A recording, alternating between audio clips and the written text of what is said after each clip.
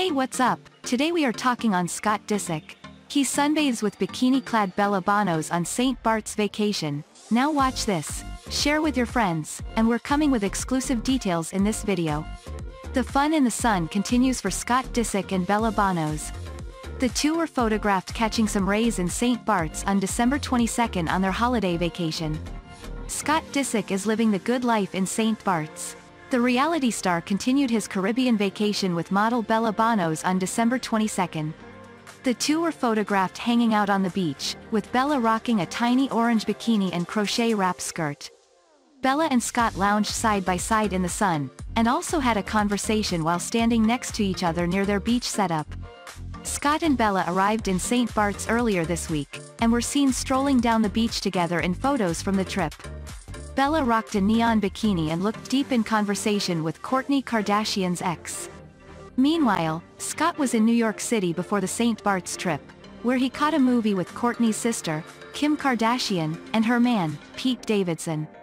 But before details, please subscribe our channel, and hit bell icon, and then select the option, all notifications, so that we can keep you in touch next time.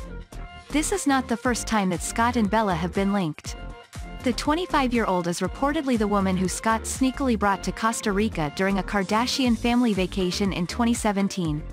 He was broken up from Kourtney at the time, but still joined her and her family on the trip, which was filmed for Keeping Up with the Kardashians.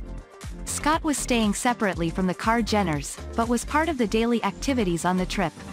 He didn't plan on telling Kourtney and her family about having Bella back at his hotel, but the news was eventually exposed on the vacation. It led to a blowout fight between Scott and Kourtney. Shortly after that, Scott started dating Sofia Richie, who he was with for three years until they split during summer 2020. Following the breakup, Scott spent some time with Bella once again, and they were spotted heading to dinner together. He began dating Amelia Hamlin by November 2020, but their romance ended after less than a year in September. His status with Bella this time around is unclear, but they definitely seem to be living it up on their tropical trip. Thanks for watching and thanks for your precious time. We hope that you found this story interesting. Please comment your views down in the comment section. Share this story with your friends and we'll see you next time.